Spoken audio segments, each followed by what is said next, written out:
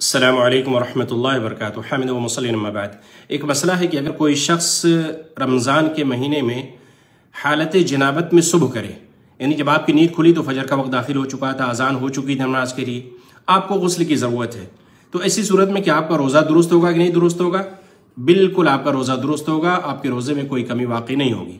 آپ کے اوپر ضروری ہے کہ آپ فوری طور پر غسل کریں، غسل جنابت سے فارغ ہو کر نماز کی تیاری کریں۔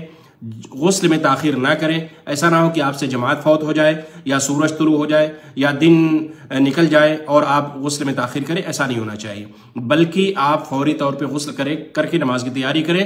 ام المومنین عائشہ صدیقہ رضی اللہ تعالیٰ عنہ اور ام المومنین سلمہ رضی اللہ تعالیٰ عنہ بیان فرماتی ہیں کہ آپ صلی اللہ علیہ وسلم حالت جنابت میں صبح کرتے اور پھر غسل کر کے نماز کی تیاری کرتے۔ تو اس لیے اگر آپ نے بھی حالت جنابت میں صبح کر لی